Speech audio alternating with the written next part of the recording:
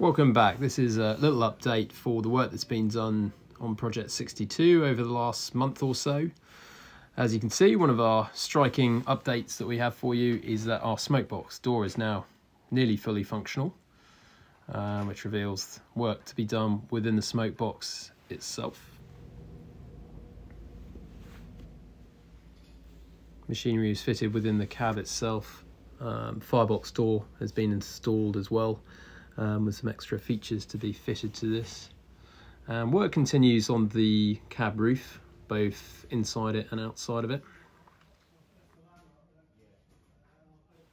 And Paul Lines, one of our creative geniuses, has been working on some pin badges that are now for sale, um, £4 per badge. And he talks us through his painting now. So how's the painting going then, Paul? Yeah, it's going really well. It's nice to see the final kind of uh, stripes going on.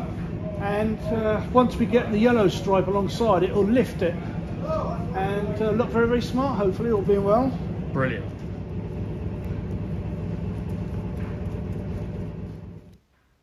And this has got to be one of the most satisfying things that you can do when you're painting, revealing nice crisp lines and uh, on this morning as well we had 30076 which was uh, shunted around Shillingstone station a little bit as well. It's good to see it moving.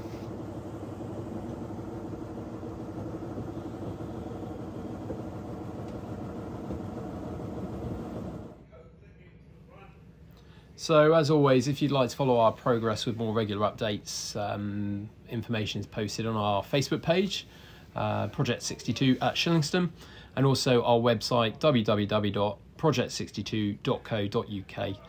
Um, I thought it'd be good to close with uh, some footage of all the people who have donated nameplates for our nameplate on the footplate program, um, which is really helping us financially drive forward plenty of expenses uh, in the next six months. So thank you all to all our supporters and, and to you for your interest.